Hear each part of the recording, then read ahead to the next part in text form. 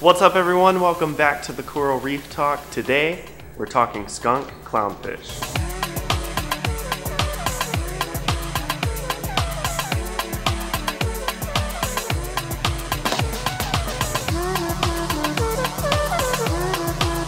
The skunk clownfish gets its name because it has a white stripe that goes from the nose all the way across the dorsal to the tail fin. Now there are many different kinds of skunk clownfish, and one of them being the pink skunk clown. And the pink skunk has the white stripe behind the eyes as well as the white stripe across the dorsal. And there's also the orange skunk clown, which are the clowns that are in my tank, and the orange skunks only have the white stripe from the nose to the tail. Now the two in my tank are a mated pair, and they host in three bubble tip anemones that surround them.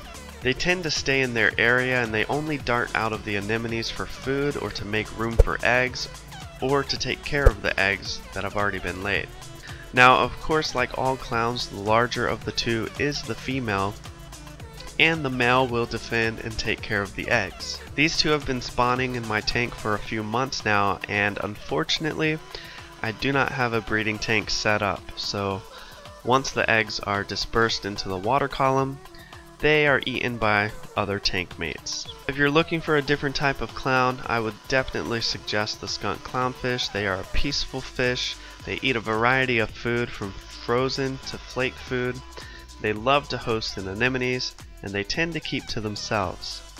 They can be a little shy, but if given an anemone to love on, they will be just fine. Now the skunk clownfish is also one of the smallest types of clownfish, so you can keep this in like a small nano tank all the way up to a large aquarium like I have behind me. Okay guys, that'll do it for this video. Thank you so much for watching and subscribing. Thank you for all of your support. We're up over 2,500 subscribers now. Be sure to follow me on Twitter, follow me on Instagram, check out the website, thecoralreeftalk.com. Remember to like, comment down below if you have any questions, don't forget to hit that subscribe button, and we'll see you next time on the Coral Reef Talk.